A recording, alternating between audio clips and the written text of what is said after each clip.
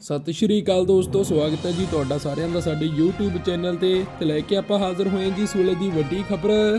ਹੁਣੇ ਹੁਣੇ ਆਈ ਵੱਡੀ ਖਬਰ ਜੀ, ਪੰਜਾਬ ਬਜਟ 2022 ਕਿਸਾਨਾਂ ਨੂੰ ਹੁਣ ਮੁਫਤ ਦੇ ਵਿੱਚ ਮਿਲਣਗੀਆਂ ਇਹ ਚੀਜ਼ਾਂ।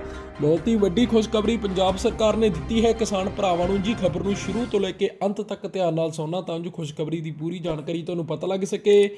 ਤੇ ਪਰ ਖਬਰ ਸ਼ੁਰੂ ਕਰਨ ਤੋਂ ਪਹਿਲਾਂ ਸਾਡੀ ਤੁਹਾਨੂੰ ਇੱਕ ਨਿੱਕੀ ਜੀ ਬੇਨਤੀ ਹੈ ਕਿ ਇਸੇ ਖੁਸ਼ਖਬਰੀ ਨਾਲ ਇਸੇ ਖੁਸ਼ਖਬਰੀਆਂ ਹੋਰ ਵੱਡੀਆਂ, ਇਸ ਤੋਂ ਵੱਡੀਆਂ ਖੁਸ਼ਖਬਰੀਆਂ ਸਭ ਤੋਂ ਪਹਿਲਾਂ ਜਾਣਨ ਦੇ ਲਈ ਚੈਨਲ ਨੂੰ ਸਬਸਕ੍ਰਾਈਬ ਜ਼ਰੂਰ ਕਰ ਲਓ ਜੀ।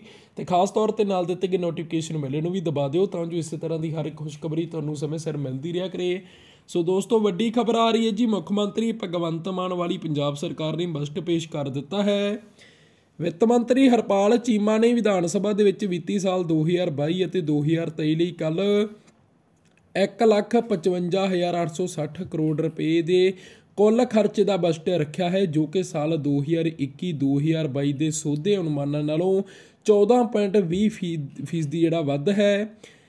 ਬਜਟ ਦੇ ਵਿੱਚ ਪਰਾਲੀ ਸਾੜਨ ਤੋਂ ਰੋਕਣ ਲਈ ਵੱਖ-ਵੱਖ ਸਰੋਤਾਂ ਦਾ ਪਤਾ ਲਗਾਉਣ ਲਈ 200 ਕਰੋੜ ਰੁਪਏ ਦੀ ਵਿਵਸਥਾ ਕੀਤੀ ਗਈ ਹੈ। ਕਿਸਾਨਾਂ ਨੂੰ ਮੁਫਤ ਬਿਜਲੀ ਦੇਣ ਦੇ ਲਈ 6947 ਕਰੋੜ ਰੁਪਏ ਦੀ ਵਿਵਸਥਾ ਕੀਤੀ ਗਈ ਹੈ। ਪੋਸਟ ਮੈਟ੍ਰਿਕ ਸੰਚਾਲਰਸ਼ਿਪ ਸਕਾਲਰਸ਼ਿਪ ਵੀ ਅਧੀਨ ਆਉਂਦੇ 2.5 ਯਾਨੀ ਕਿ 2.5 ਲੱਖ ਵਿਦਿਆਰਥੀਆਂ ਲਈ 640 ਕਰੋੜ ਰੁਪਏ ਰੱਖੇ ਗਏ ਨੇ। ਪੰਜਾਬ ਦੇ ਬਜਟ ਵਿੱਚ ਖੇਤੀਬਾੜੀ ਲਈ 11580 ਕਰੋੜ ਰੁਪਏ ਦੀ ਵਿਵਸਥਾ ਕੀਤੀ ਗਈ ਹੈ। ਸਿੱਧੀ ਬਜਾਈ ਲਈ ਕਿਸਾਨਾਂ ਦੀ ਮਦਦ ਲਈ 450 ਕਰੋੜ ਰੁਪਏ ਦਾ ਪ੍ਰਬੰਧ ਕੀਤਾ ਗਿਆ ਹੈ।